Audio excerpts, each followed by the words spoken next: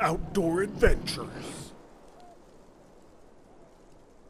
Chuke, is that you?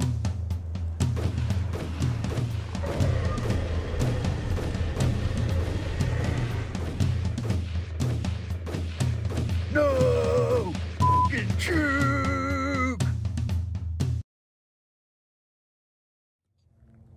All right, guys, so this is gonna be my new hunting rifle this season. Pretty happy with it. This is a Remington 700 AAC SD. It's the tactical kind of, not too short barrel. It's got the 20 inch barrel, but it's, it's a tactical rifle. It's almost an entry level precision rifle. I've had one before. I've always wanted another one. Um, it's got the bull barrel, which is what I needed because my only other bolt gun right now is that pencil barrel Kimber mountain rifle. And that's only for extreme mountain hunts. So I wanted something that was gonna stay more precise shot after shot um, with a bigger barrel. And this actually isn't too bad. Uh, without the scope and everything, it's around seven pounds, which isn't extremely heavy. Um, it's almost standard for a hunting rifle, really six, seven pounds.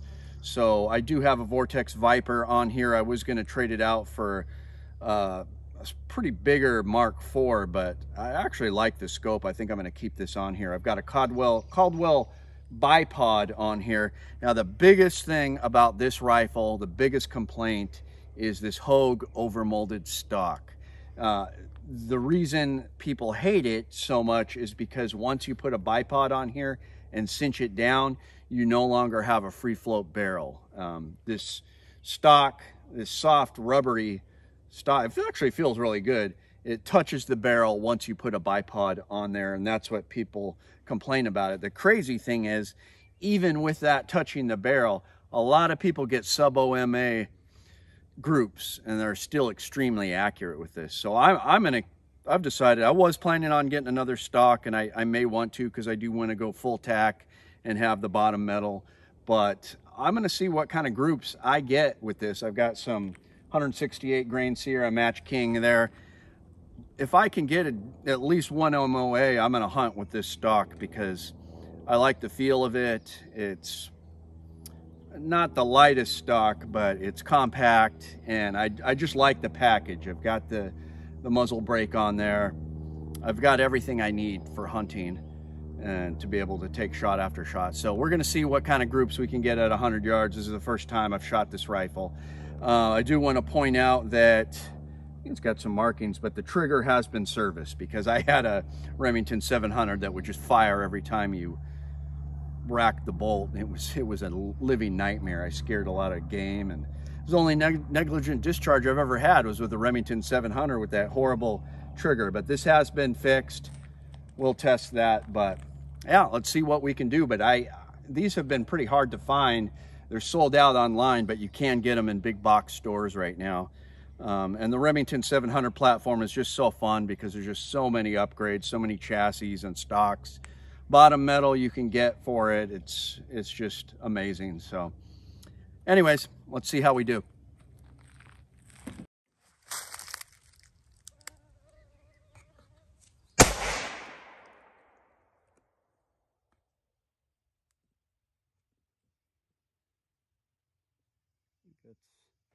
Little left.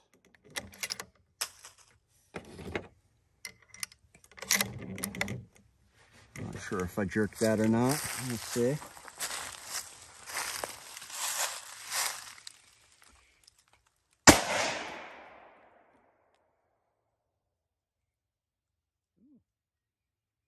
I got the startings of a good group. Might have one MOA, one MOA here, people. We'll see. I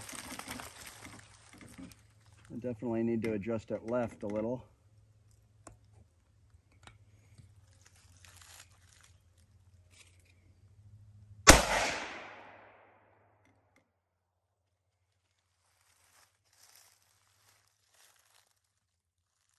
Actually, I think I had a flyer. That's weird.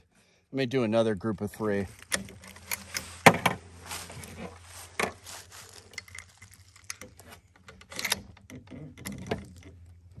Guys. That's uh, actually terrible.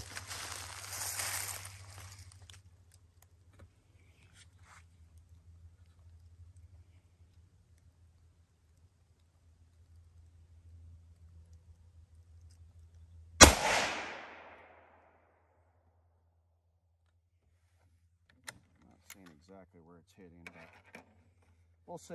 It's good. Uh, one of Chuke's special scientific scientific uh, experiments here.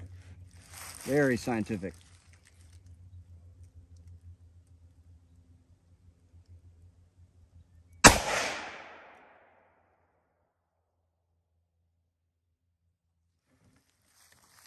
Might be better.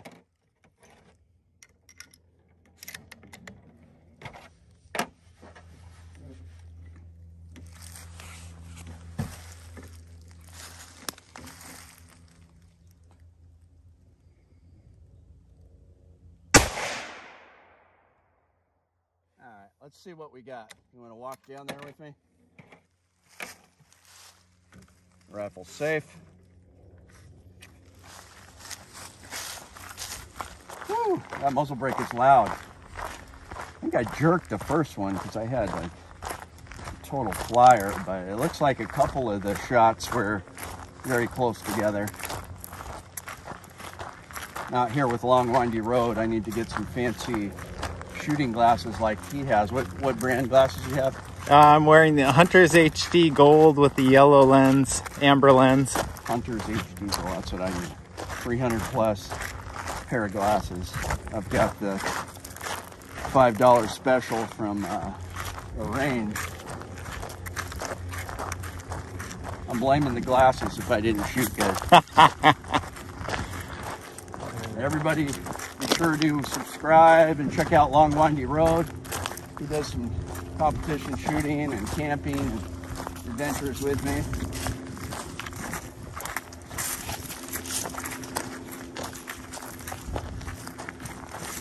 Oh, wow.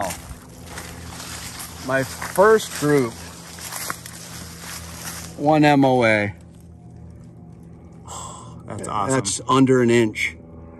That one I was pulling and I was nervous, but the first group, and it's not set for 200 yards like the guy said it was. It's it's dead set at 100 yards. So I don't know what he's talking about, but uh, that's I'm totally hunting with that setup. I'm not going to change anything. That's about one MOA, and I'm not even practiced. I'm just flying off the seat of my pants there, and I just initially got a group like that. That that's amazing. Very very happy with it. I'm I'm set for my hunting season. That's most of the shots I make on caribou and black bear are between 80 and 180 yards, 90%. So if I'm shooting like that, I'm getting a easy kill shot in the boiler room every time. I'm happy with that. I people talk crap about that Hogue stock and yeah, it would be cooler if I got the Magpul Hunter with the bottom metal, but I'm gonna add like two or three pounds of weight if I do that. I'm just gonna rattle can that and keep that Hogue stock. And if I'm getting groups like that, um, I don't know. I, I think people give that overmold stock a bad rep, even with the Caldwell bipod on there, making the rubber touch the metal. It's not perfectly free float. I'm getting one MOA.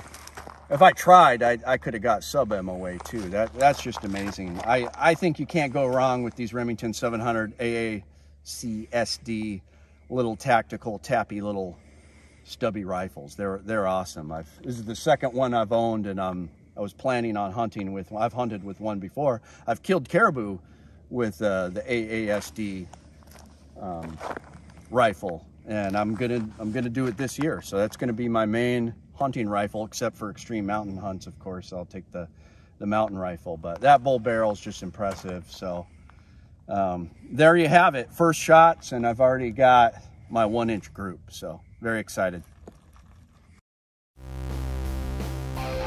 My name is Duke. I like to trade my guns just for fun, but now I have none.